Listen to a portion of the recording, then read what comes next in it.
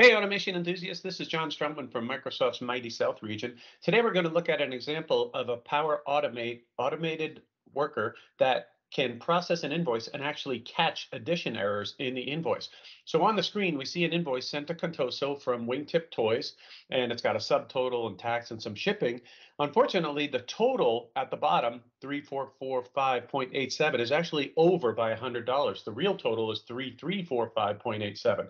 So if we think about the benefit to customers in something like an automation handling this is that if you're looking at one invoice, it might not seem like a big deal, but if you're processing hundreds of these a day, that's a lot of work for human workers and the real potential for these errors to get missed. And so you the customer could end up paying out a lot more money than they should.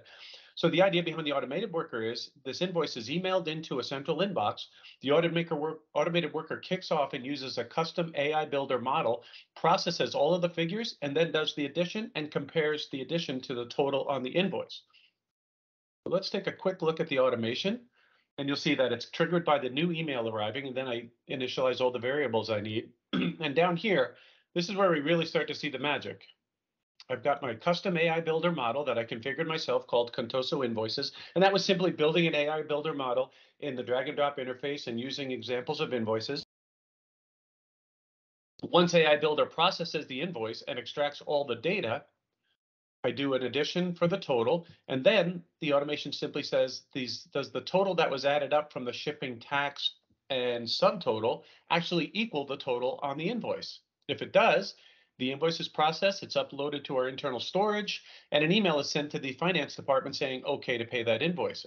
If it doesn't, an invoice is sent back to the customer saying, hey, thanks for your invoice, but there seems to be a mistake here. So uh, please resubmit the invoice. So now to see this work, we'll click the test button. And I'll say, let's test manually. So I'm just going to do this on a manual trigger and actually just send it an email. So once we see the spinner, we know we're ready to go. I minimize that and go to my email inbox. I've got the email ready to go, and I just click send with the attachment of the invoice. And now we go back and let's watch our flow run. So we saw the email come in. So our inbox has received the invoice, and now the flow should be kicking off very shortly.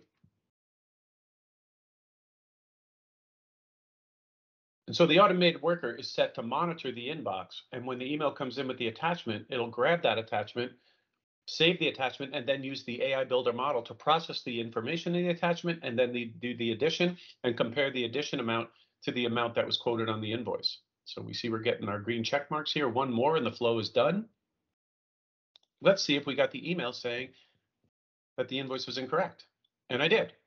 So here's the email that came in from the automated worker saying, thank you for your recent invoice dated February 15th. However, the math is incorrect on the invoice. Can you please check the addition and resubmit the invoice?